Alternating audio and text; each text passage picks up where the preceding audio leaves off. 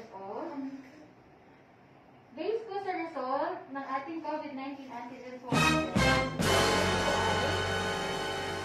negative.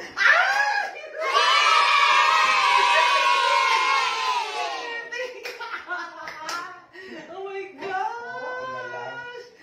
Frick, huwag ka mo naman mawag. Negative na ako, no? Baka may ano ka.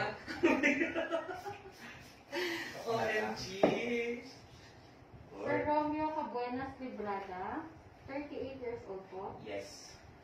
Ay! Wala pa. Ah, medyo ano po kasi, Three lines po yun. hala. ah, based po sa antigen swab test natin, kayo po ay Ano ba yan? negative din po.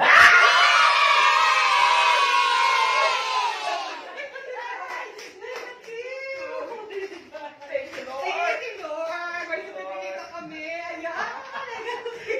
Kinabahan ko niya, nakakati ha. Kinabahan ako doon. Uy, ba't kinabahan ako? Dahil kung nagpapasinip ka, di malamang ako Oo, din. Di so, ba dahil thank palagi you, tayo magkasama. Thank you. Thank you at thank you sa ating mga, ang tawag sa inyo? Medtech po ako. Okay, Medtech. sa ikaw, TechNet. Technem. Stop lang po. Stop. Ating you, Ayan, Medtech. thank you. Ayan. Si Miss Kat. Miss Kat. tsaka Miss Kat and Kyle po. Kyle. Miss Cat and Dog. Ayan. si Kyle, ayan. Maraming salamat sa inyo.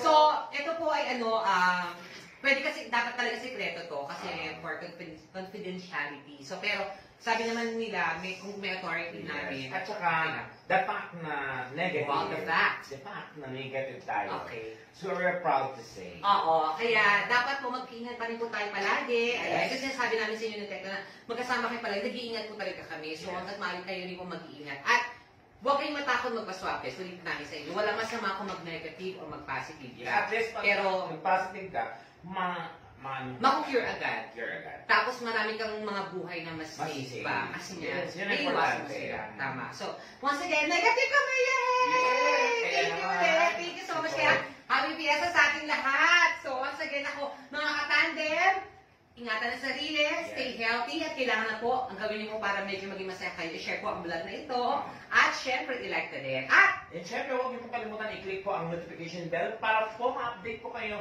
ng mga videos na aming i-upload. correct, kaya once again, manis Dumitanog! Maraming super tekla At kami ang Duneta Italim! Oh,